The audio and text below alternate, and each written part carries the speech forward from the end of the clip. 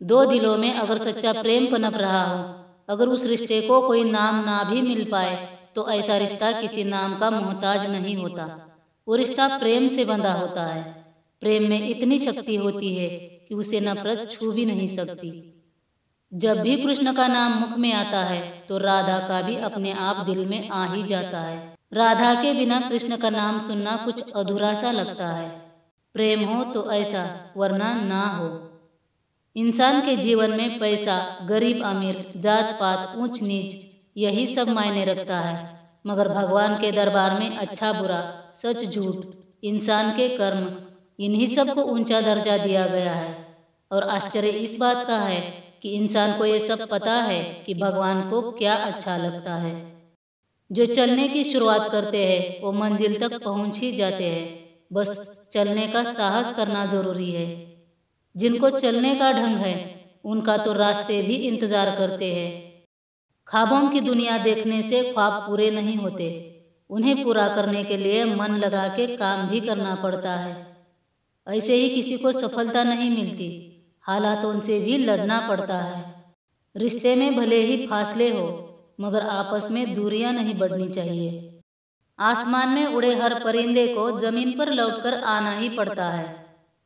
इंसान अपने कमाई का हिसाब रखता है तो ऊपर वाला इंसान के सांसों का हिसाब रखता है। चेहरा इंसान के दिल का आईना है, दिल का हाल चेहरे के भाव बताते हैं।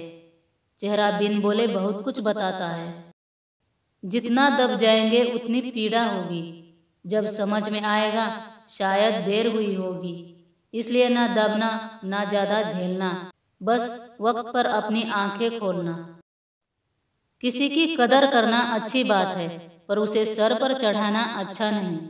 जितना सर पे चढ़ाओगे, उतना उसकी नज़र में खुद को घटाओगे। ये दुनिया है, यहाँ कोई पाता है तो कोई खोता है। यहाँ वही होता है जो होना होता है। भरोसा जितना भगवान पर करते हो, उतना ही अपने भुजाओं की ताकत पर भी करो। बीते कल का पछतावा और आने वाले कल की चिंता। दो ऐसे चोर हैं जो हमारी आज की खुशी चुरा ले जाते हैं। आप चाहते हैं कि आपके रास्ते में कोई ना आए तो आज से शेर की तरह जीना सीखो। आप चाहे कितने भी गरीब क्यों ना हो, अपने गरीबी पर कभी शर्मिंदगी महसूस नहीं होनी चाहिए। जो इंसान मरने से नहीं डरता, वो कभी नहीं मरता, और जो मरने से डरता है, वो कब का मर चुका होता है। अन्याय और अत्याचार के विरुद्ध लड़ना है। तो सबसे पहले खुद का सम्मान करना सीखो और आत्मनिर्भर रहना सीखो। रास्ता अगर सही हो और दिल और दिमाग की साथ हो तो इंसान हारने का सवाल ही पैदा नहीं होता।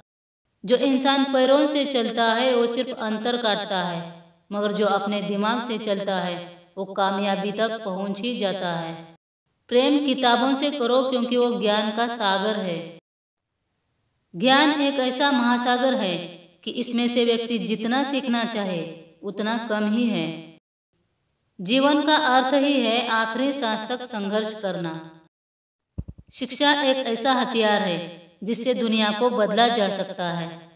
सिर्फ़ पढ़ने लिखने का मतलब शिक्षा नहीं है। अपने दिमाग को हमेशा सत्य की ओर ले जाना, दिल में हमेशा इंसानियत ज़िंदा रखना, अपनी भावनाओं पर काबू पाना और अपने शरीर से मेहनत करवाना मतलब शिक्षा है। इंसान दो लोगों से हमेशा हार जाता है, एक अपने प्यार से और दूसरा अपने परिवार से। ना थके है अभी पैर, ना अभी हिम्मत हारी है। हौसला है ज़िंदगी में कुछ कर दिखाने का, इसलिए अभी भी सफ़र जारी है।